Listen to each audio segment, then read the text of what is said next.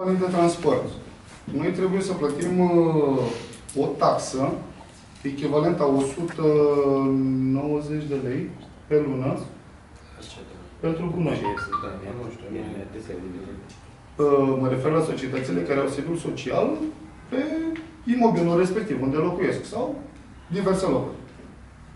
Un camion, ca să-l folosim, să beneficiem, să fim legali, avem nevoie de licență de transport. Licența de transport nu se eliberează fără un contract ferm cu un serviciu autorizat, care se angajează să-ți facă schimburi.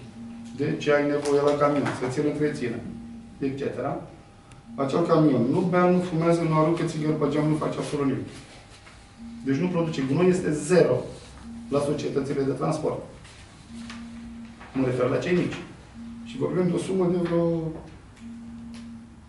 aproape 2000 de lei pe, pe an. Este cam mărișoară, după părerea mea. RCA-ul, eu vorbesc în dreptul meu. Am 24 de ani de, de stradă. Și vă puteți informa dacă ceea ce spun este adorație. Nu am folosit o asigurare. Deci am avut noroc și m-a ferit din riscă. Sau, haideți să spunem că sunt profesionist. Nu am folosit o asigurare. Vă arăt o ofertă de anul trecut, pentru că anul ăsta încă am asigurările în vigoare. Cea mai ieftină ofertă a fost de 1115 lei. Cu bonus malus 7. Per camion. După, după părerea mea, este exagerat. Cu toate că au venit cu, cu exemple. România, 1011 lei, mă iertați, 110 milioane lei. Îmi cer mii de scuze.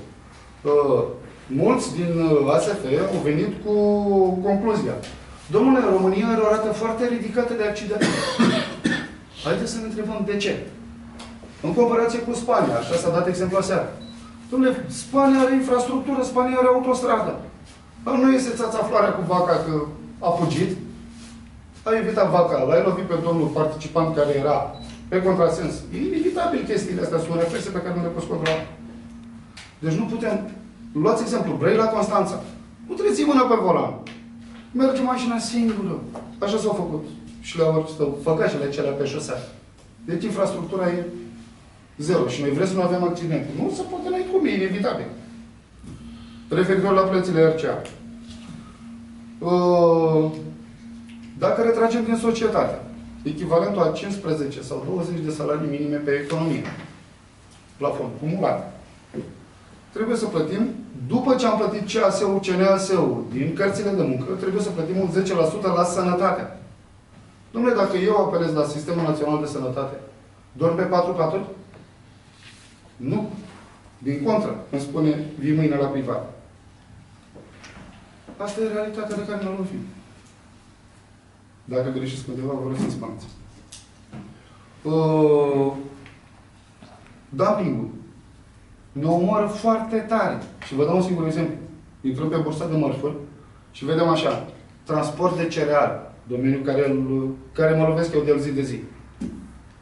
Se plătește tonă pe uh, tonă la încărcător. Mergem legal. Perfect de acord. Domnule, mergem într-un tonaj. Nu cum s-a spus că, domnule, că ai voie să pui acum încă 20% în plus. Păi nu e avantajul meu. Pentru că la 10 camioane, un camion pierde o cursă. Nu. Haideți să facem 40, fără, cu toleranța. Se întâmplă. M-am lovit de cazuri în care am avut o depășire pe axă, dar per total aveam mai puțin cotoan. A trebuit să fiu penalizat. De ce? Pentru că este o marfă instabilă pe aia, nu am pus o asigur. Iar domnii noștri de la ISCTR, nu dau nume, că nu îmi stă în caracter, mi-au dat penalitate. Că domnule, că trebuia să o asigur. Nu am pus să o asigur pe asta. Asta fuge. Cu sticla asta, paharul ăsta de apă, noi cum spui chingă pe să-l să să asiguri. Și am plătit. Uh, de la Brăila la Constanța, referitor la dumping. În ziua de astăzi, acum, la ora actuală, se plătește undeva în jur de 80, maxim 90 de lei pe tonă. Da? Uh, într-un camion, încărcăm 25 de tone. Maxim. Legal. Deci limita legală. Vorbim tot, totul legal, transparență. 25 de tone, ori 90 de lei, scădem cheltuielile. La sfârșit, rămânem cu 100 de lei, din care se percep foarte multe taxe. Adică egal faliment. Deci nu ne rămâne 100 de lei să zici tu, mă, am făcut un transport astăzi care a durat două zile, că așa se întâmplă la noi la port la Constanța. Și a rămas cu 100 de lei. Nici măcar cu ea nu rămâne. Da, mă scuzați că vă întreb. Vă rog